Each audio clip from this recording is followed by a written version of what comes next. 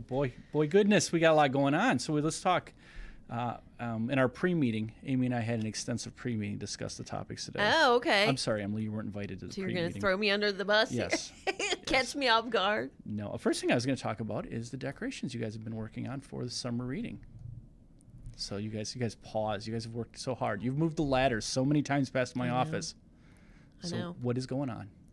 Explain We are kind of going with a bee theme a bee this theme. summer. Bumblebees, Very summary. kind of like be at the library or be a reader. So it just kind of was catchy and it just sort of phased into that. and um, we kind of went with it. So there's a lot of bee decorations and made a beehive. My thoughts were that I would probably give away a couple of the um, Which one? Berkshire. Okay, I didn't know which one. You have wisdom? Berkshire honey. And um, this little guy, well, actually, it's a girl. Um, well, I think her name is Babs. Are we going to have a, a Babs. gender reveal party for our plushie? Miss Microphone. Amy, uh, she was talking about her bee decorations. Yes. Well, I went with a retro theme. Okay. Has come together the song. Mm-hmm.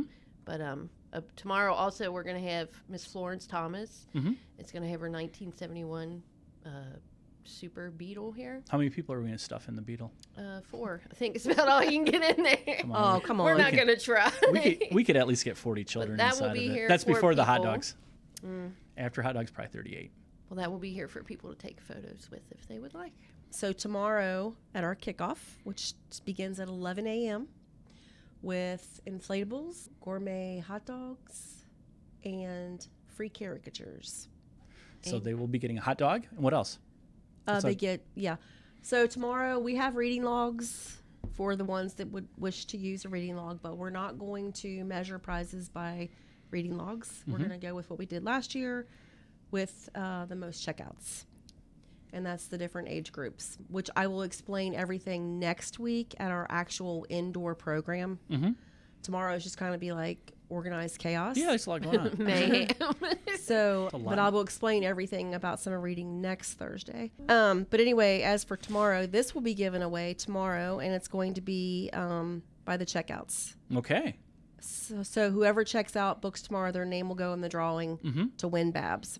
And of course, we won't know till the end of the day. Is Babs? What is Babs supposed to? What animal is Babs? It's a bird. Okay. Oh, okay. Okay. I think that is a children's. So, but I just want to say a little bit about summer reading and why we do it. One thing is we want to prevent the summer slide. And over this period of two and a half months, this says here. You brought that, notes to uh, our. I did. Stepping it Uh, up. two and a half months of math skills are lost over the summer. Math alone. Reading skills, two months.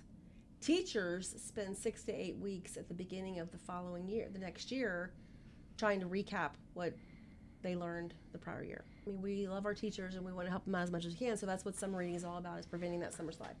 So if the kids will spend just two or three hours a week reading, and that's maybe 20 minutes a day, you know, that could avoid the summer slide. There we go. So that's why uh, that's why we do it.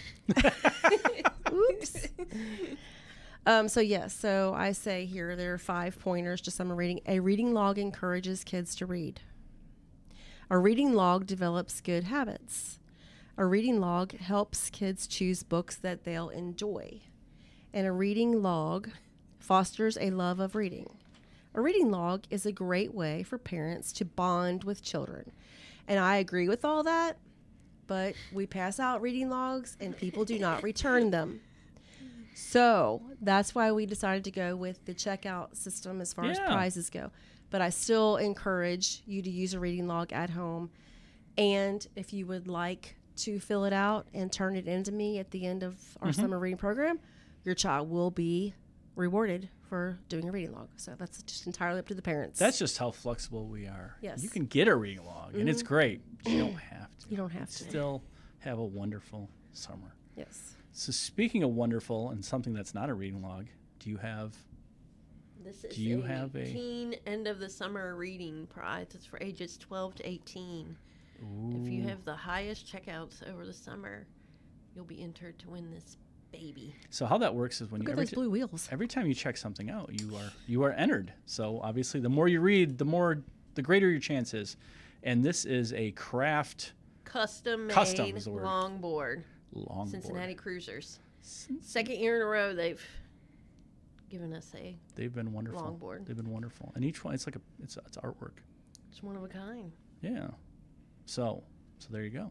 If you need that, if you need that incentive, it's there for you, and it'll be um, somewhere in the uh, Teen area. I've teen area. I'm sorry. On display. Okay, so now this is just throw, just okay. So we got we got hot gourmet hot dogs. We've got a caricature artist. We've got books everywhere. We've got a, a longboard. We've got a, a bug, and I feel like I'm missing something else on this one. And a plush toy giveaway. And this is the place to be in It all of. Gallatin County tomorrow. This is the place to be.